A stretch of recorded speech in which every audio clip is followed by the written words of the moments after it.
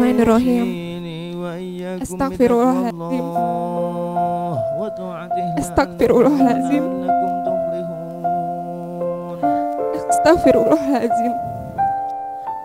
Kakak dan adikku yang Anasta sayangi, hari ini Anasta memohon izin dan doanya restu Bapak, Mama, Kakak, dan adik sehubungan dengan rencana Anasta untuk menikah. Bapak, Mama, kakak dan adikku yang tercinta.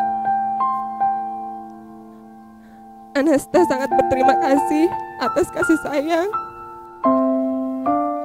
pendidikan, perhatian yang Bapak dan Bapak dan Mama berikan sejak Anasta masih dalam kandungan Mama dan terlahir sebagai bayi hingga Anasta beranjak dewasa saat ini dengan ketulusan, keikhlasan, dan kesabaran. Pada hari ini, Anasta mohon dengan segala hormat kiranya Bapak dapat menikahkan Anasta dengan calon suami pilihan Anasta yang bernama Hadi Kusuma. Anasta ridho dan ikhlas Bapak menikahkan Anasta dengan calon calon pilihan Anasta.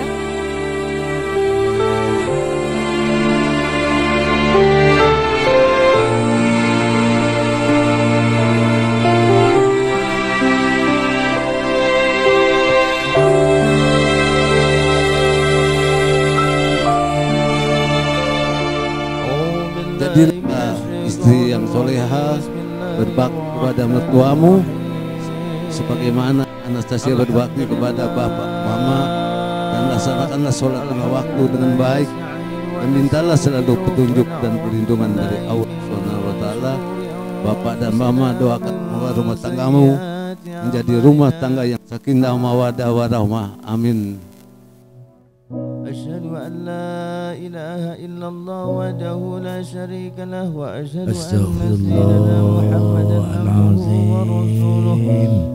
Astaghfirullahaladzim.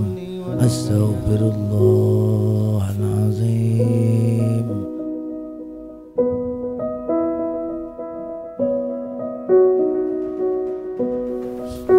Ananda Haji Kusuma bin Kusti Wijaya. Saya nikahkan dan saya kawinkan Ananda dengan anak kandung saya yang pertama Anastasia Pratiwi binti Bing Rudi Manayang dengan mas kawin berupa perhiasan emas nilai 10,35 gram dan uang tunai sebesar 910 14 rupiah dibayar tunai Saya terima nikahnya dan kawinnya Anastasia Pratiwi binti Bing Rudi Manayang dengan mas kawin tersebut dibayar tunai.